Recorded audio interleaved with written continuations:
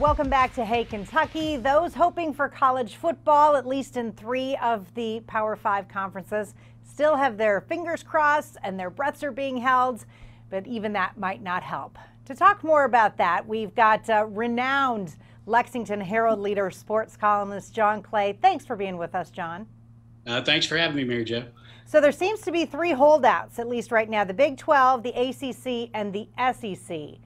Is there any thought in your head that those three conferences are actually going to play football when the time comes? They're going to try. I mean, I've said all along, I thought there's so much money involved that they're going to try.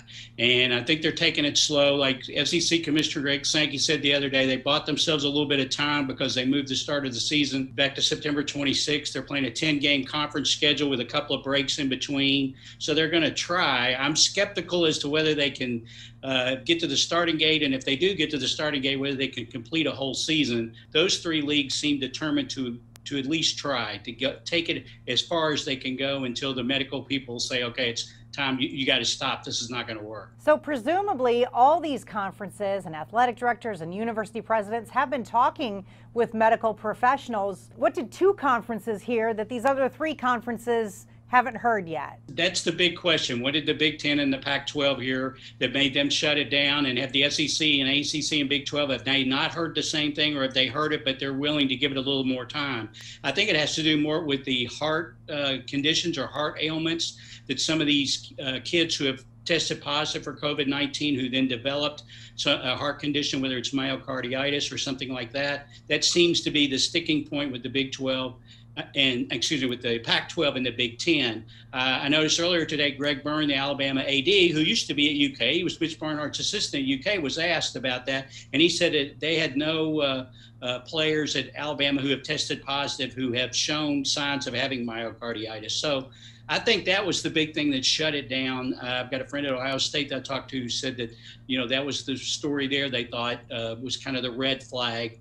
Uh, so I think that's the thing. And either the other conferences haven't heard about that or they're willing to give it more time to see how it develops. It appears that some conferences are trying to listen to players, which uh, it's probably just the appearance of that. They're not really truly listening to what the players want to do, probably.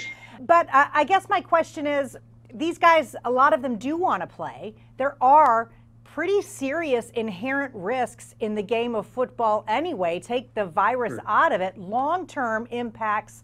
Certainly, there's been study after study that shows that is a possibility as well.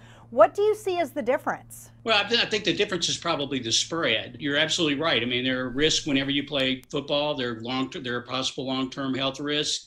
Uh, obviously, CTE is the one that's gotten the most attention. But those things you don't spread to another person. There's also and there's you don't get them from another player. You get them from the contact. In this case, I think that they can do a pretty good job of keeping the players themselves who play on the team, as Greg Sankey called it, a quasi bubble. But what happens when they go out and mix with the other students? Which is, you know, I think is inevitable that's going to happen. And then the contact of playing another another team. I think those are the risks that that are involved. The other factor's got to be a legal, you know, a liability issue. And I, I think it's not just the medical people who are talking to the conferences; it's also the legal people as well. And we don't know for sure what they're telling them, but I'm sure that's figuring into the equation as well. And the, the, positivity rates in a lot of the states in, in, the South are quite high right now. Kentucky is actually doing pretty well, relatively speaking. I do want to ask you one more thing. There seems to be uh, this presumption that sports writers, sports media, sports broadcasters don't want the season to happen because they want to be right about coronavirus. Couldn't be further from the truth.